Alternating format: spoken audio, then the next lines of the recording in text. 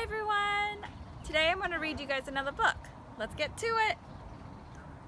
This book is called Ben's Seeds, and it's written by Bassel Elkadi.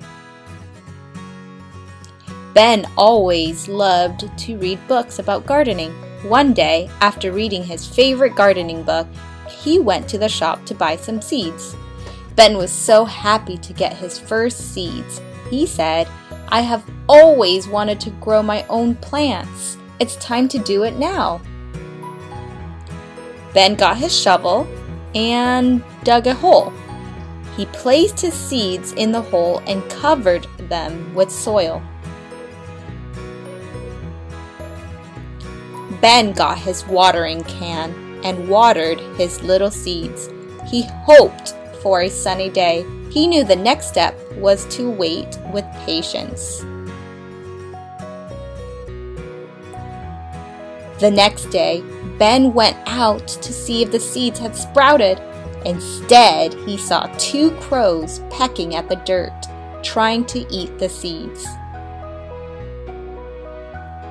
Ben yelled, Go away, crows! Don't eat my seeds! I worked hard to plant them!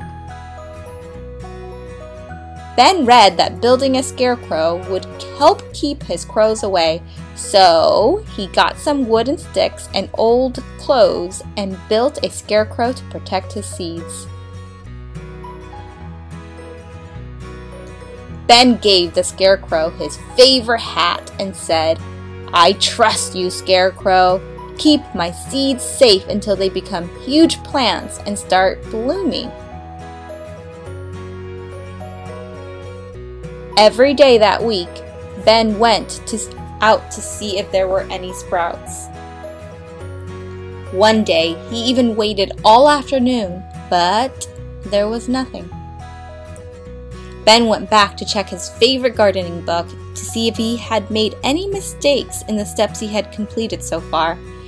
It was written that seeds need sunlight, a suitable temperature, nutrients in the soil, water, and air in order to sprout. It would take a week or more for them to show above the ground. Ben didn't lose hope. He continued to care for his seeds daily.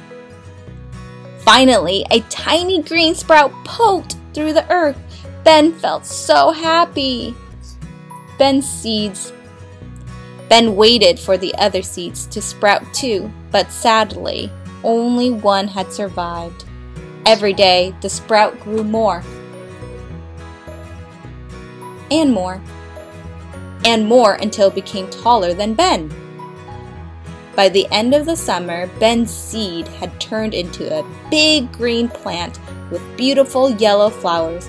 He felt so happy and proud of his result of his hard work and patience. Ben took down his scarecrow and told him, Thank you for protecting my plant and its flowers, Scarecrow. We will have more seeds to plant them and protect from now on. Hope you guys enjoyed the book.